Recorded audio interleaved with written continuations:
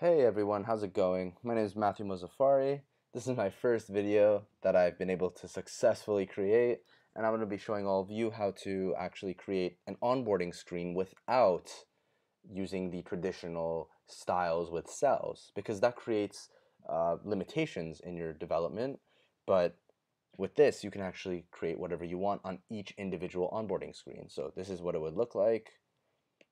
It would have the scroll transition effect with the restrictions, as you can tell, and you can add whatever you like. So let's begin. Hey, how's it going everyone? I'm Mathew, and this is like my first video. Um, I recorded this video multiple times, and that's because I, I ended up making a bunch of dumb mistakes, and I'm going to be going through it to help you guys. so what I'm going to be building today is actually a, um, a UI page control, and it basically manages multiple view controllers. And this is very helpful when you're building onboarding screens, because I know typical onboarding screens have text, an image, and uh, the little page control icon at the bottom, and you can just create arrays and fill them up. And if you want to customize each view controller, that makes it kind of tedious. So what I'm going to be showing you guys is how to be able to build general code which allows you to customize view controllers completely differently. And it's very convenient. So uh, let's begin. I got this uh, page control practice. There's nothing in here yet. Um, I'm to add everything now. So first let's mess with the actual storyboards. So um, we're to add a few view controllers. Um, let's add three of these. And we'll just change the colors.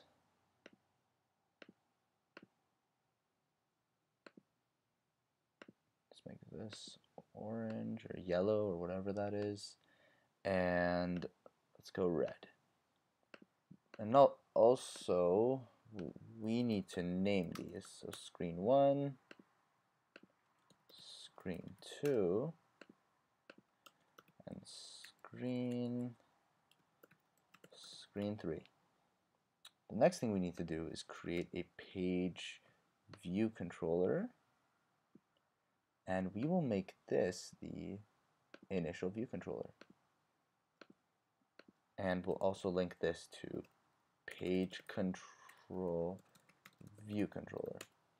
And we don't have this class yet, but we're going to make it now. So just go to File, New, uh, File, Cocoa Touch class, UI Page View Controller. Name this Page Control View Controller. And we'll just create it.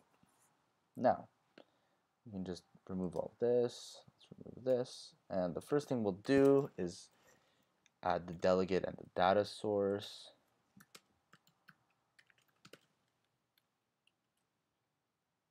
And then we will, mm, you can ignore the errors there. Um,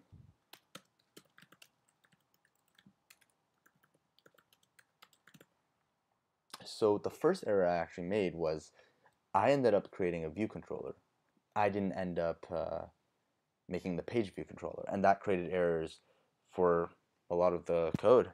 And I had no idea why until I paused the recording, went through it for like 30 minutes, and then realized. So yeah, just keep that in mind. Um, so let's go if let first view controller equal ordered view controller controllers dot first um, then set view controllers so like this actually appears only if you import it as a UI page view controller and that never did appear. First view controller direction would be forward animated would be true this would be nil um, now let's also create this important lazy var uh, ordered view controllers, UI view controller.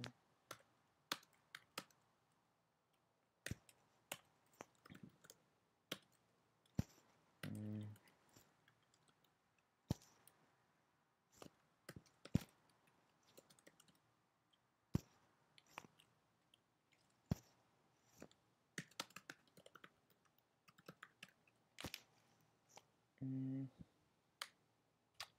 Is this right? Yeah. So this is basically the array containing all of your view controllers. So we can do screen 2 and screen 3. Let's put that there. And there you go. Um, you've got this. And what this does, it basically calls each storyboard. And you can add, add as many as you'd like. And yeah. So let's make sure there's nothing wrong here because I'm getting an error. Um, I think we should be good. Maybe will that get rid of that? Hopefully that does. No, it doesn't. Well, okay, we'll, we'll see. We'll figure it out. So um, the next part would be to add a function call configure page control. We'll be writing that function very, very soon.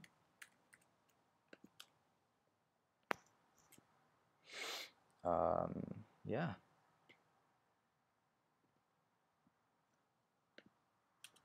So, first function would be func page view controller and this would be previous view controller. So let's find that. I'm always having problems with this. I think it should be this. Previous view controller, perfect. So we let page content view content view controller equal page view controller controller dot view controllers add an optional here self dot page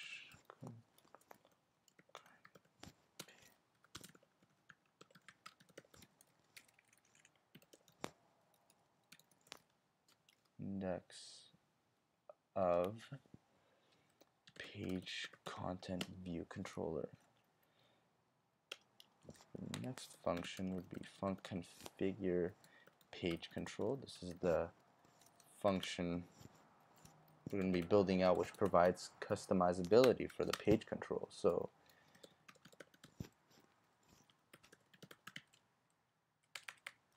mm, oh shit. Uh, zero y ui screen dot main dot bounds dot max y minus 50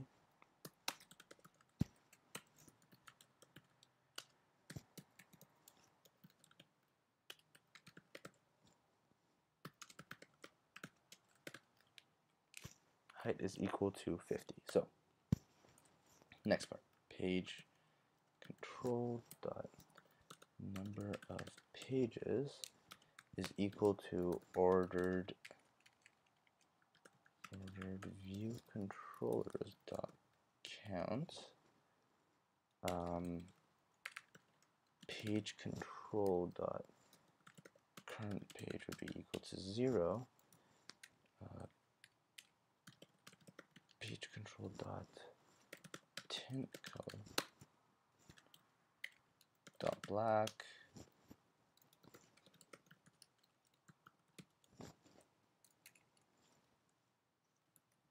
current page indicator tint color. So it's so inconvenient when the actual functions don't pop up. I don't know why nothing's popping up right now. Um, see yeah I'm, I'm getting nothing. Page indicator tint color is equal to let's make that white uh, and then just add it to your subview. Add subview page control. All right, so let's let's actually build this and see if this is uh, okay. wow. Hmm. So what could be wrong here? Okay, I see, I see. So I didn't even declare it. So that's probably why. So up here, let's call this, and these should be good. Hopefully, yeah, okay. All right. Let's see. Let's see if it pops up now. There we go. There we go. So current, there we go. All right. So yeah, declare here variables. Don't forget that. I'm running into a ton of errors. Wow. Yeah, welcome to my channel, guys. it's okay. I'm having fun. I'm having fun. And hey, you guys are going to learn with me, so that's cool. So new VC view controller. Wow. Okay. String outputs a UI view controller. Um, return UI storyboard name main bundle nil dot instantiate view controller with identifier view controller um, func oh, page view controller and there are two functions we're going to need a before and an after. So I think this is the before perfect and let's get the after. So this one uh, hopefully it's this and after. There we go perfect. Um, let's see. So let's just get some space here so guard let view controller index so this actually what these do is actually control the page control so the little dot that shifts, this controls it. So I'll be, I'll be writing out the logic here and just take a couple minutes, try and understand it. It's very straightforward. And you guys should easily understand what happens on the back end for this. So um, view controller index is equal to ordered view controllers dot index of um, index of view controller else return no. Let previous index equal to view controller index minus 1 guard previous index is equal to or greater than 0 else return no.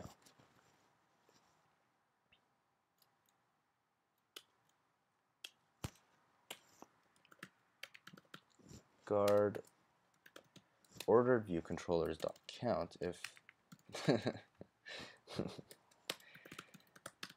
uh, if that's equal if that's greater than previous index then we would just return no okay this is not it's not helping okay return ordered view controllers previous index. And there we go. I think we're done this one. So for the after function, so the one right below it, we're just going to copy and paste all of this with a few small changes. So we're going to change this to next index plus one. Um, we're also going to be making this previous index guard ordered view controllers dot count is greater than next index. Else return nil. Then guard ordered view controllers dot count. If that's greater than next index. Uh, uh, return nil. And then let's just add in next index to this. So this is our completed code. Take some time, pause the video maybe, break down this logic. It's, it's fairly straightforward. If you guys don't understand, leave a comment. I'll explain it. I might just put it in the description or something like that. In the future, I definitely do want to go through more errors. Um, and I'm always going to be responding to you guys. So leave some comments if you need clarity. So I'm going to run this. Hopefully, hopefully this works. Um, and if you remember, we already linked it to this, so that it should run. It should run.